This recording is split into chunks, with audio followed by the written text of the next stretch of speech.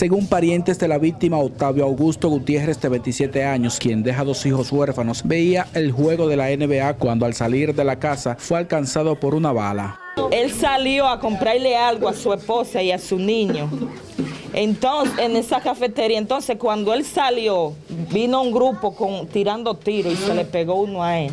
Yo estaba en el frente y yo tuve que entrar para adentro, corriendo, cuando ellos subieron.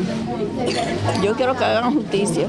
Señalaron además que un hecho similar ocurrió hace cerca de un año, donde también una señora perdió la vida en medio de un tiroteo que se produjo entre bandas.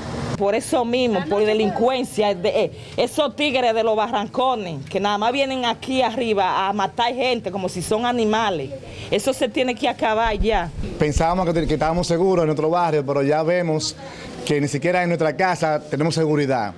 Y le hacemos un llamado a la policía que por favor que ponga mano dura porque ya van dos muertos aquí en este barrio. El hecho de sangre es investigado por las autoridades e informaron que el conflicto se registró por el control de armas de fuego. En Santiago Junior Marte, Noticias SN.